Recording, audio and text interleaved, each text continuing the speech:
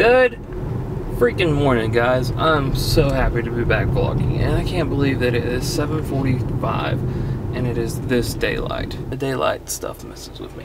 Anyway, it is Monday, episode 99 of the vlog. Alright, we are back and I'm uh, more excited than I have been in a very long time to be vlogging again. It's been almost a week since I, I decided to take a little break and I haven't done any video except for like I shot like little tiny things that I did like I got a haircut. Understand, understand, understand, Boy, this mirror is dirty. Change see how that light changes.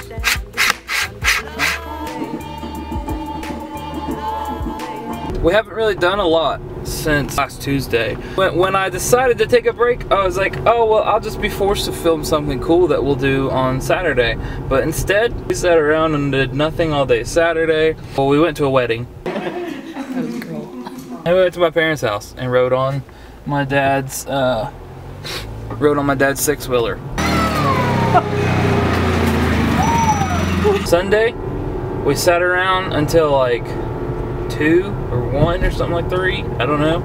And we did yard work and then we went to some friend's house. That's about it. But it is Monday. I actually got up early today. I've got a theory. If I get up five minutes earlier every day, it'll get easier and easier to do because I'm tired of being almost late for work. I'm so happy to be back vlogging. It feels so good to hold this camera again. If you missed me, I miss you too, camera. Come here. Come here. Come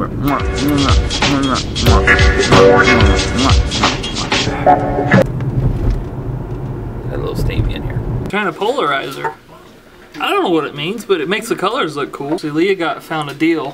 What deal did you find, Leah? I didn't find it a deal. Actually, somebody else on there. Or one of her friends found a deal where you can get like a $300 grill for 25 bucks. So we're gonna go get a grill, hopefully, and put it in the basement for next summer. Right, Izzy? Yeah. At least she agrees.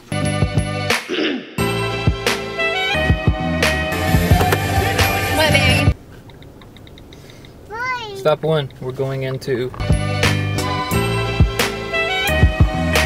It worked out pretty good. We did it. We went to this place. We purchased a grill that cost $299 for a whopping $25. We're not taking it home right now because I didn't have any in the box and the assembled one would not fit in our car.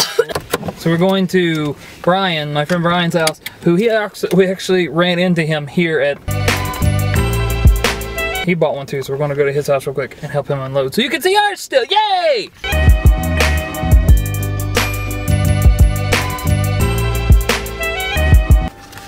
Too bright, too bright. No, no, What happened?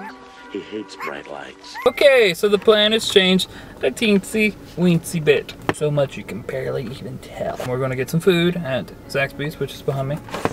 Right there. I know it wasn't in focus. And then we're gonna go try to see the wildfires.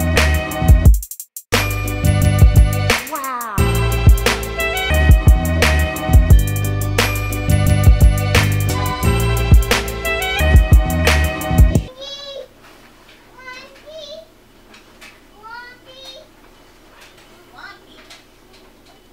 Well, we failed. Well, technically, our fail is more of a credit to the fine men and women of the Western North Carolina Fire Departments. This is the picture from last night.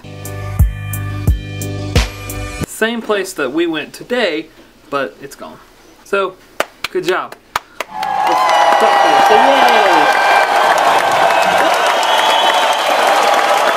I think, I think she's pooping. I felt all bad because I wasted the whole afternoon. But you think about it, sometimes the most important part of the adventure is saying you tried. So we tried. Now it's time to try and put this baby to bed. Look how bright this light gets. No, no, Ah!